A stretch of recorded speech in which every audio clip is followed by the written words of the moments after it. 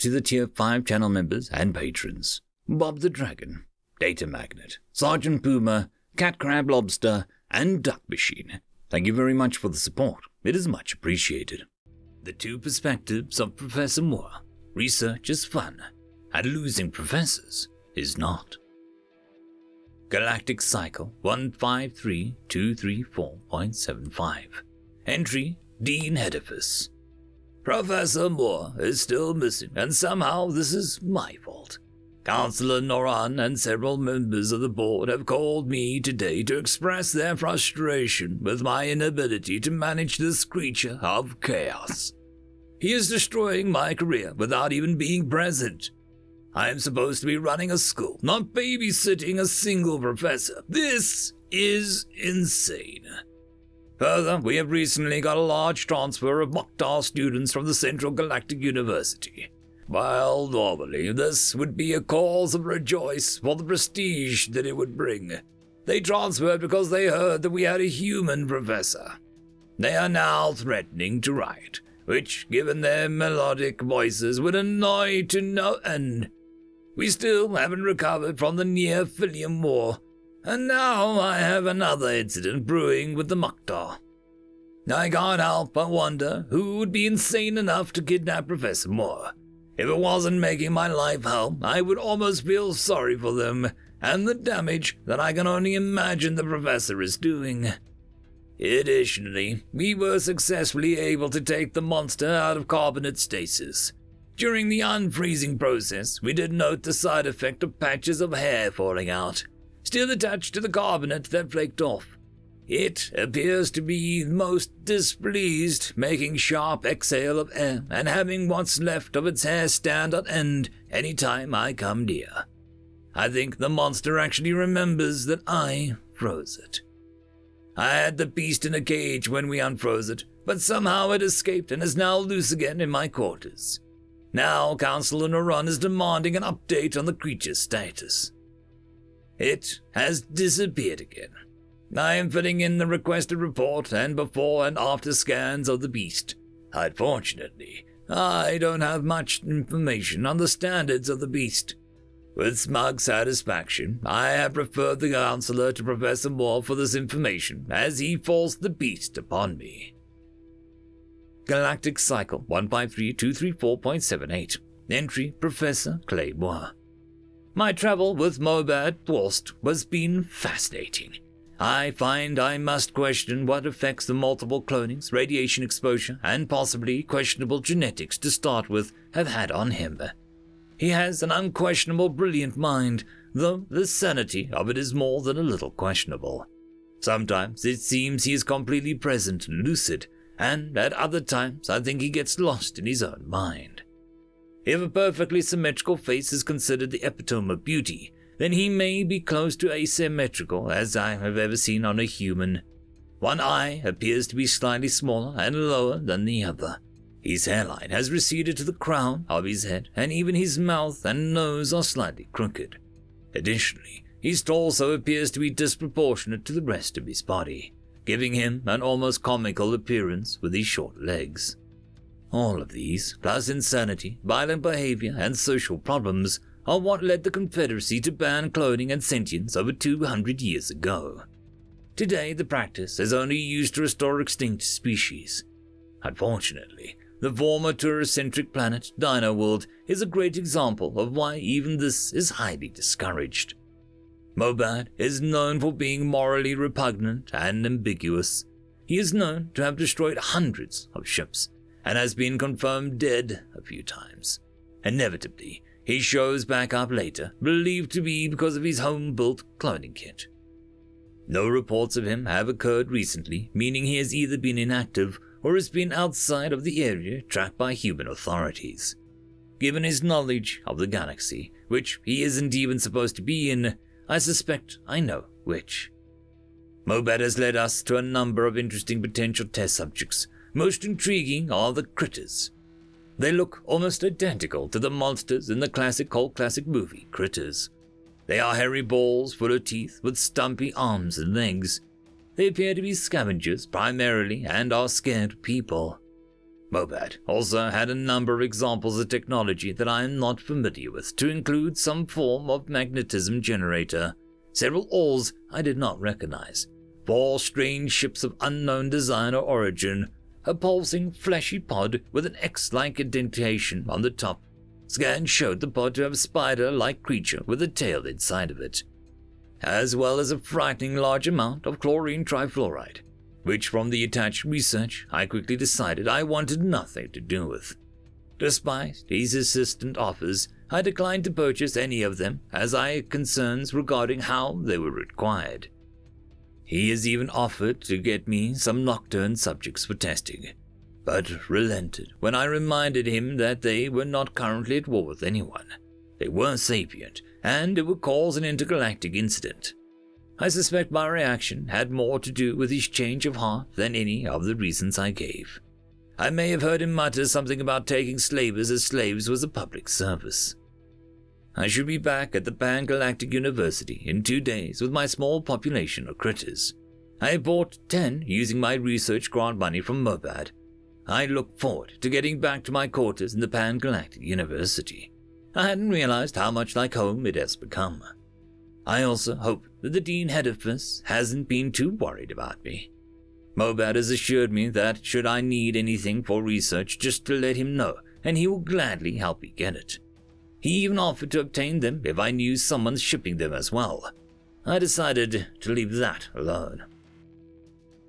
Galactic Cycle 153234.78 Entry Dean Hedifus Counselor Noran showed up in person at the university again today.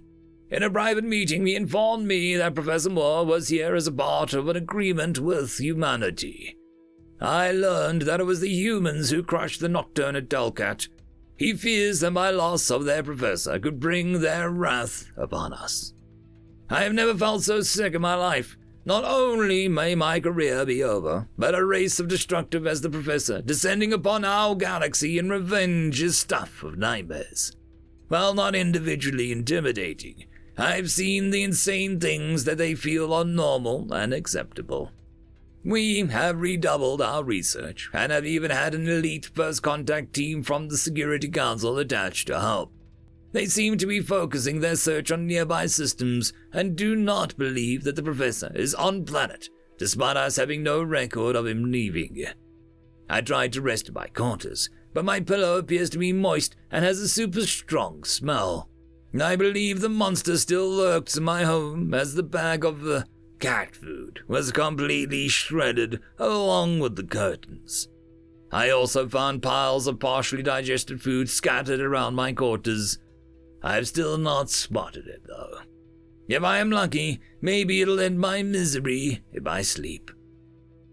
Galactic Cycle 153234.80. Entry Professor Clay Moore. I must say that it is great to be back at the Pan Galactic University. Mobad dropped me off at my lab, saving me the walk out from the spaceport. I'm not entirely sure how he got his ship on the roof, but figured it was a case some questions were better left unasked. Not because he wouldn't answer. He was very truthful. You just didn't always want to know the answer. Tomorrow, I'll check in with Dean Hedifus to see if he's going to give me any courses to teach, or if he still wants me to focus on my lab. I know I'll need some help around the lab, so I've put together a request for research assistance. I'll petition the Dean to give them some course credit. I hope he approves my request. Galactic Cycle 153234.81. Entry Dean Hedifus. Professor Moore finally showed up today. I never thought I'd be so excited to see him back. Counselor Noran even came out to welcome him back and ensure that he was okay. How he returned, or for how that matter how he left, we have yet to determine. No ship was recorded as of docking. He just showed up in his lab on morning. I am still not convinced that he ever left the planet, though I am at a loss to where he could have been. He appears to have some Ratar with him. I am familiar with them as student lost a few here a couple cycles ago, and we occasionally see them, but they are psi creatures. Professor Moore wanted to hire some research assistants and to know if we could use the Ratar for some of his research. I was so relieved that I told him I would give full course credit and he could hire as many as he needed. As far as the rotter went, I could care less if he wiped out the whole species of vermin if I told him so. I am just relieved that he has returned.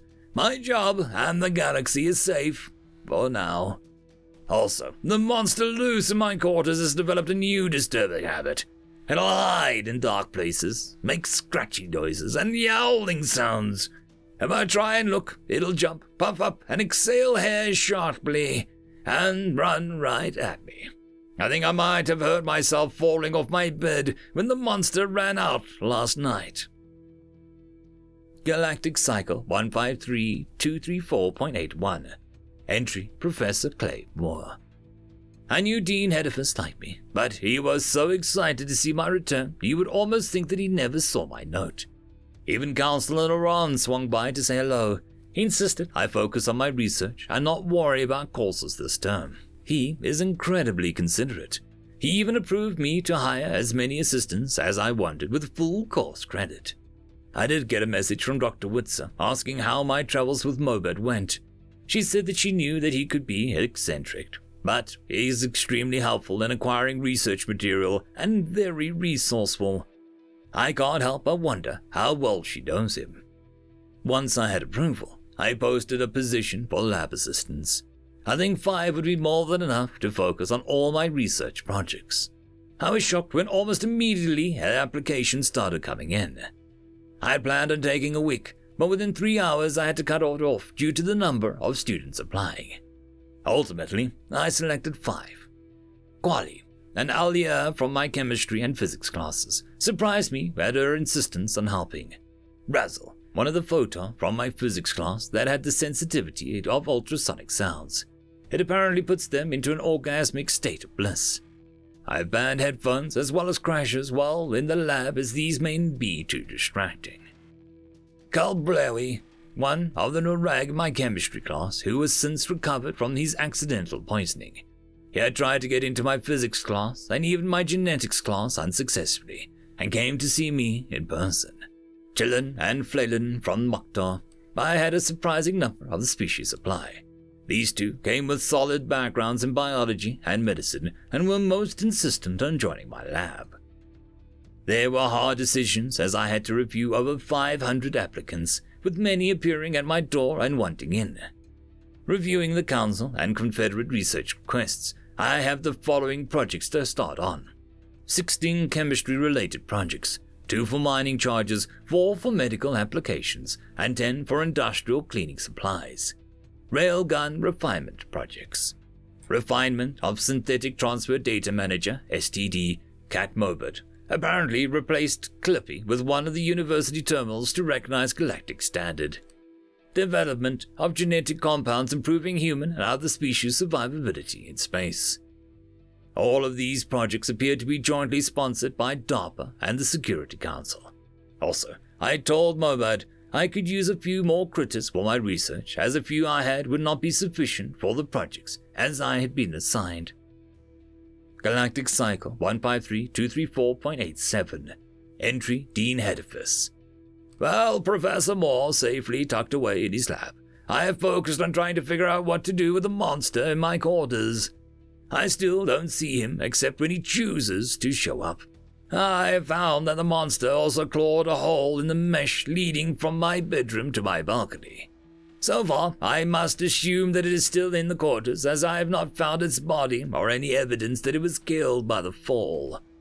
Today, I also found a partially eaten rata in my bed. I awoke screaming as it was still facing me. The first contact team of the Security Council had assigned was able to get me information of the old Detroit monster. They believe the creature is actually trying to establish friendship with me by bringing me uh, food.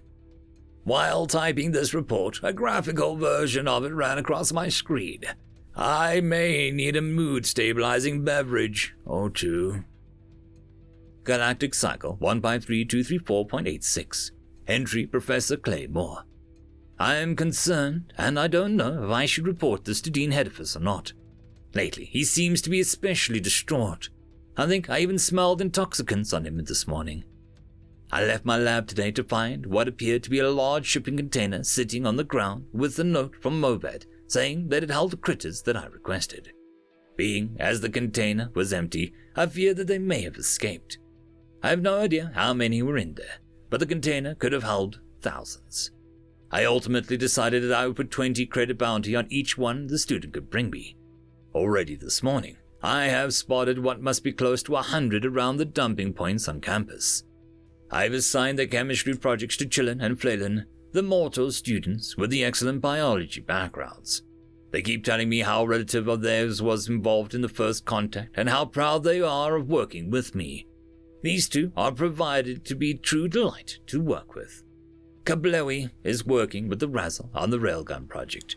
They seem to have a natural interest in the project and are making good progress. That left Quali dealing with the STD Mobed left on the network. She seemed to be progressing the fastest, helping train it and use the correct words. Galactic Cycle 153234.86 Entry Dean Hedifus We appear to have a Rata infestation developing. This is terrible as once they run short of food, there is little that they won't eat. We may have to go on a lockdown until the cannibalize enough of themselves to bring the population under control. Looks like I proved Professor Moore's experiments just in time. The monster in my quarters has now started leaving partially eaten ruttas around every morning. I found one on my table this morning. It is slowly starting to come out more often when I can see it. It is a truly terrible looking beast with a missing eye, ear, scars, and partial tail. Today, I thought that it was going to attack me, but instead rubbed on my leg for a minute before going over to sleep on my bed. With the rata I'm seeing everywhere around campus, I'm starting to be glad that I have this creature around. I wonder if the medical department could do anything for its injuries. I found that they were starting to work on the railgun project on the roof, not wanting to repeat of the severe structural damage to the physics labs. I have required them to move it to the basement. Galactic Cycle 153234.88. Entry Professor Clay Moore. Quali has proven exceptional at dealing with the STD cat Mobed left. I am proud to announce that Sexist Races Classical Literature is now safe for teaching in a public institute. I still find the stupid thing annoying as it likes to open and close random documents. Kablewi and Razzle have been excitedly working on the railgun in the basement as they were required to do so by Dean Hedifus.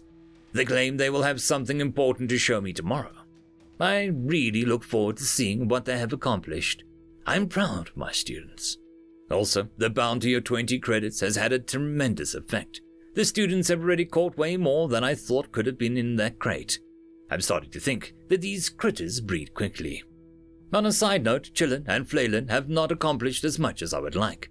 One seems to be stressed while the other seems nonplussed.